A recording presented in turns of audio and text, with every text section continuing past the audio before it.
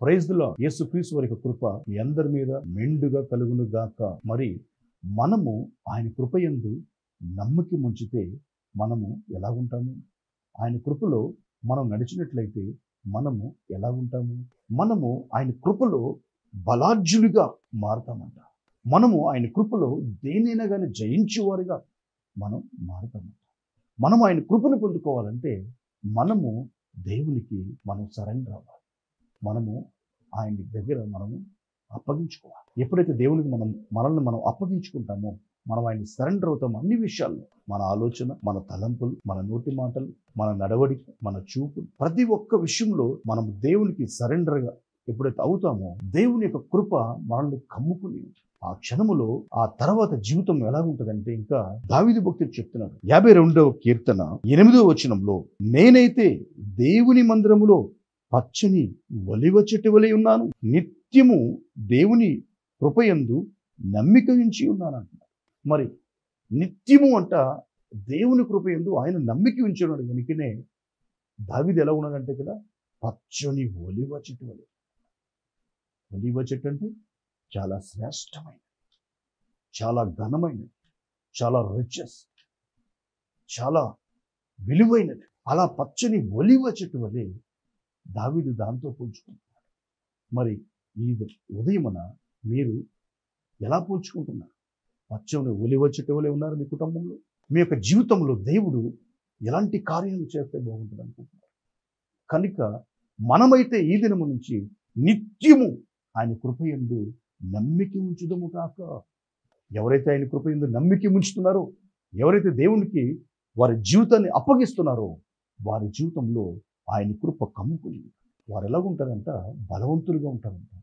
శ్రేష్టమైన వారుగా ఉంటారు. విలువైన వారుగా ఉంటారు. అభిషేకంతో నింపబడిన వారుగా ఉంటారు. కనుక మీరు కూడా దావిది వలె ఒక గొప్ప సాక్ష్యము చెప్పడానికి సిద్ధంగా ఉన్నారా? ఒకవేళ ఎవరైతే సిద్ధంగా లేరో మీరు దేవుని దగ్గర అడగండి. ప్రభా నేను నన్ను నేను నీకు సమర్పించుకుంటున్నాను. అర్పించుకుంటున్నాను. లోబడుతున్నా నన్ను కడుగును ప్రభా ఏ మురికి నాలో ఉందో నీ యొక్క విలువైన రక్తము చేత నన్ను పరిశుద్ధపరచు నన్ను కడుగుము. ఈ ఉదయమున నన్ను నీ కృపతో నింపు నా జీవితంలో గొప్ప కార్యములు జరిగించు అని ఎవరైతే అడుగుతున్నారో మీరు దేవుని కృపను అధికంగా పొందుతారు ఆ కృపను పొందగానే అప్పటి నుంచి మీరు చెప్తూనే ఉంటారు. ఏమంటే నేను పచ్చని ఒలివ చెట్టు నేను శ్రేష్టమైన వాడిగా ఉన్నాను. నేను దేవుని యొక్క కృపను అద్భుతంగా నా జీవితంలో పొందుకుంటా ఉన్నా. నా జీవితంలో ఏ కొదువను లేదు. నా జీవితంలో బాధ అనేది తొలగించేసాడు నా దేవుడు.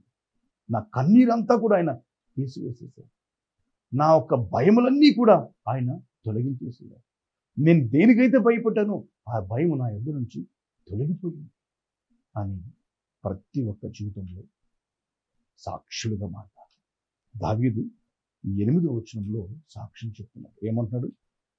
నేనైతే దేవుని మందిరంలో పచ్చని ఒలివ చెట్టు వలి ఉన్నాను. నిత్యము దేవుని కృపయందు నమ్మిక ఇచ్చి ఉన్నాను. ప్రార్థన చేసుకుందామా?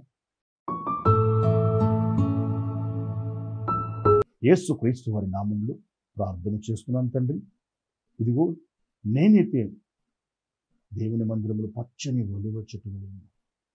ప్రతి ఒక్కరూ ప్రభు నీ బిడ్డలు పచ్చని ఒలివ చెట్టు వలి ఉంది పచ్చని ఒలివ చెట్టు వలి నీ బిడ్డలు శ్రేష్టమైన జీవితాన్ని ప్రభు గడుపుదురు కాక శ్రేష్టమైన జీవితాన్ని వారికి అనుగ్రహించండి. శ్రేష్టమైన మార్గములో వారిని నడిపించండి. నీకు నీ కృపయందు నిత్యము కూడా నీ బిడ్డలు నమ్మకి ఉంచుతున్నారు ఇదిగో ప్రభు నీ బిడ్డలను బలపరచును నీ బిడ్డలను స్థిరపరచును వారి వారి ప్రయాణాలలో వారి ఉద్యోగములలో వారి స్కూల్స్కి వెళ్తున్న బిడ్డలైతే వారు కాలేజీకి వెళ్తున్న బిడ్డలైతే వారి ఉద్యోగాలకు వెళ్తున్నవారు వారు వాళ్ళ ఇంట్లో ఉంటున్నవారు ప్రతి ఒక్క జీవితంలో మెండైన కృప కలిగి ఉంటారు వారు బయటికి వెళ్ళేటప్పుడు వచ్చేటప్పుడు నీ కాపుదల దయచేయి. కొంచెం ఉన్న కీడు విపత్తులన్నిటిని తొలగించి ప్రభా ఈ విషయంలో ప్రభా ఇదిగో జరగాలి. ఇది మా జీవితంలో గొప్ప కార్యములు మేము చూడాలి అనుకుంటున్నారు. అన్ని విషయాల్లో వారి జీవితాల్లో గొప్ప కార్యములు జరిపించండి ప్రభు ఎవరైతే ఇంకా బాధలో కన్నీటిలో దుఃఖములో విలపిస్తున్నారో ప్రభా వారి జీవితంలో సహాయం అనుగ్రహించండి. ఎవరు అనారోగ్యంతో బాధపడుతూ ములుగుతున్నారు ఇప్పుడే వారి జీవితంలో స్వస్థతని కలిగించండి. నీ గొప్ప ఆశ్చర్యము వారి జీవితంలో కలిగిందా ఏ తెగులు ఏ భయము నీ బిడ్డలకి అంటనివ్వకుండా నీ కృపతో కప్పివేయమని. నీ బిడ్డల్ని ఇదిగో శాంతి సమాధానాలతో నింపబెట్టమని. యేసుక్రీస్తు వారి నామంలో ప్రార్థిస్తున్నాను తండ్రి ఆమె ప్రైజ్లో God bless you.